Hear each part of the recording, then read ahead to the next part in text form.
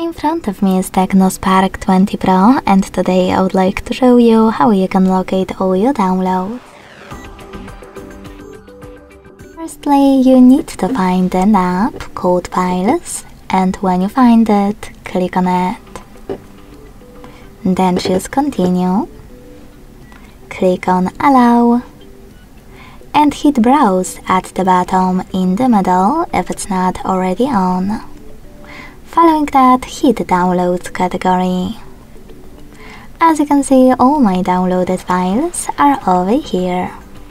To access one, click on it. Thanks so much for watching. If you enjoyed this video, don't forget to leave a like, comment and subscribe. Bye!